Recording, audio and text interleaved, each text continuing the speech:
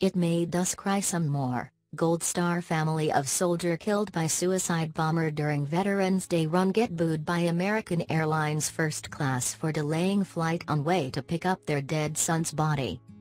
The grieving father of a well-decorated army soldier killed in Afghanistan says his family was booed by first-class passengers for delaying a flight to meet his son's remains. Sergeant John Perry, 30, died on Saturday at Bagram Airfield when he stopped a suicide bomber from reaching his target, a soldier's 5K Veterans Day run to benefit disabled veterans. His father, Stewart Perry, says his son, who was a combat instructor, and the others who died are heroes, as they may have saved more than 100 people's lives by stopping the bomber from reaching his target. The father, who is a Marine veteran, said he and his wife, Kathy and daughter, Anita, were flying on an American Airlines flight from Sacramento to Philadelphia with a quick transfer in Phoenix on Monday, the record reported. From Philadelphia they traveled to Dover Air Force Base in Delaware to receive his son's remains.